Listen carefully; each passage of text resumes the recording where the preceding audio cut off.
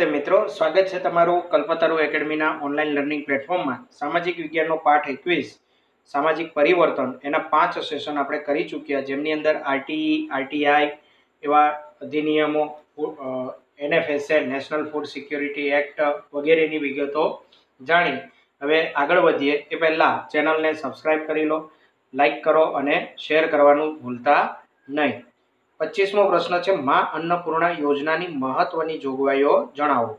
તો ભારત સરકાર દ્વારા પાંચ જુલાઈ બે હજાર તેરના રોજ રાષ્ટ્રીય અન્ન સલામતી કાયદો પસાર કરવામાં આવ્યો અને એને અનુલક્ષીને જ ગુજરાત સરકારે મા અન્નપૂર્ણા યોજના શરૂ કરી. એટલે આ જે કાયદો છે, કાયદાનું પ્રાવધાન શું છે? તો કે દરેક વ્યક્તિ માટે બધા જ સમયે સક્રિય અને સ્વસ્થ જીવન માટે પૂરતા પોષણક્ષમ આહારની પ્રાપ્તિ એ એમનો હેતુ હતો અને એને જ અન્ન સલામતી તરીકે ઓળખવામાં આવે છે અને એની પરિપૂર્તિ કરવા માટે ગુજરાત સરકાર દ્વારા પણ માં અન્નપૂર્ણા યોજના શરૂ કરવામાં આવી. હવે આ યોજના છે એ હેઠળ શહેર કે ગ્રામ્ય વિસ્તારના જે જરૂરિયાતમંદ મધ્યમ વર્ગના કુટુંબો છે, ગરીબ કુટુંબો છે, એમને વ્યાજબી ભાવે અનાજ આપવામાં આવે છે. ઉપરાંત જે અંત્યોદય કુટુંબો છે અને ગરીબી રેખા નીચેના કુટુંબો છે, એને પ્રતિ માસ પાંત્રીસ કિલોગ્રામ જેટલું અનાજ મફત આપવામાં આવે છે. એક રેશન કાર્ડ દીઠ પાંત્રીસ કિલો અનાજ આપવામાં આવે છે. હવે એમની અંદર ગરીબ કુટુંબો એને પીડીએસ સિસ્ટમથી વ્યક્તિ દીઠ પાંચ કિલોગ્રામ અનાજ, જેમાં ઘઉં બે રૂપિયા પ્રતિ કિલો, ચોખા ત્રણ રૂપિયા પ્રતિ કિલો અને જાડું અનાજ એક રૂપિયા પ્રતિ કિલોના ભાવે અપાય છે. આ યોજનાની અંદર ગુજરાતમાં કેટલા લોકોને ફાળો મળે છે? અથવા તો યોજનાનો લાભ મળે છે. તો ત્રણ પોઈન્ટ બાસઠ કરોડ જેટલા જરૂરિયાતમંદ લોકો એમને આ યોજનાનો લાભ મળી રહ્યો છે. અને એના કારણે શું થશે? તો કે કુટુંબોની બચત વધે, તેથી અન્ય વપરાશી ચીજ વસ્તુઓ ખરીદી અને પોતાનું જીવન સારું બનાવી શકે. એટલે ખોરાક માટે જે ખર્ચો થાય છે, એ ખર્ચાને ઘણા ખરા અંશે સરકાર અહીં ઓછો કરી રહી છે. તો એના બદલામાં જે રૂપિયા બચે છે, એના દ્વારા એ પોતાના જીવન ધોરણને સારું બનાવી શકે, જે એમને જીવન જરૂરિયાતની ચીજ વસ્તુઓ છે, દવા વગેરે, તો એની ખરીદી કરી શકે.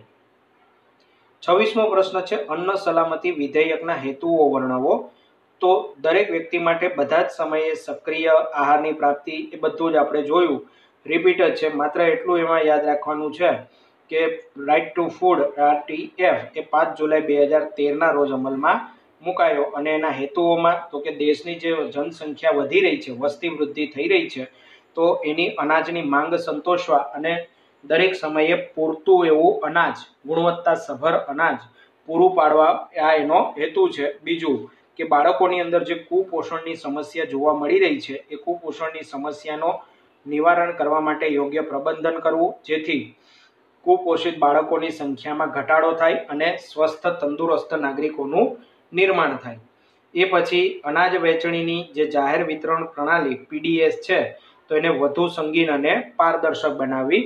એના માટેથી સરકારે બાર કોડેડ રેશન કાર્ડ, એમની અંદર એપિક નંબર, પછી બાયોગ્રાફિક ડેમો જે આપણો અંગૂઠો છે, એ વગેરેની ડિટેલ્સ એમાં એડ કરવામાં આવી છે. તો જેના કારણે શું થાય? તો કે કાર્ડનું ડુપ્લિકેશન થઈ શકે નહીં. અને જે વ્યક્તિના અંગૂઠા એમની અંદર બારકોડ સ્વરૂપે સેવ કરેલા છે, એ લોકો જશે તો જ એમને અનાજ આપવામાં આવે છે. તો આ એક પ્રકારની પારદર્શક પદ્ધતિ થઈ, જેથી ભ્રષ્ટાચાર કાળા બજાર એને રોકી શકાય.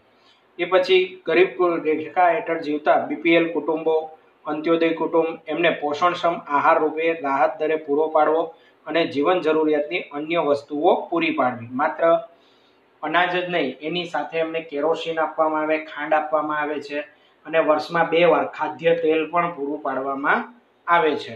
આ ઉપરાંત ગર્ભવતી સ્ત્રી અને સ્તનપાન કરાવતી માતા, જે ધાત્રી માતા કહેવાય છે, એમની પોષણ આહારની જરૂરિયાતો પૂરી પાડવી. એટલે ગર્ભવતી સ્ત્રી એમના શરીરમાં જ્યારે બાળક આકાર લઈ રહ્યું હોય છે, તો એમના શરીરના કેટલાય ઘટકો, પ્રોટીન, ધાતુઓ વગેરે એ બાળકના શરીરમાં જતી હોય છે. તો એ માતા કુપોષણનો શિકાર ન બને, એ માટેથી એમને યોગ્ય પોષણક્ષમ આહાર મળી રહે, એ પણ આમના દ્વારા સુનિશ્ચિત કરવામાં આવેલું છે. તો મિત્રો, અહીં આપણો આ પાઠ પૂરો થાય છે. હવે લગભગ આપણી ચેનલ પર પૂરેપૂરો સિલેબસ પૂરો થઈ ચૂક્યો છે.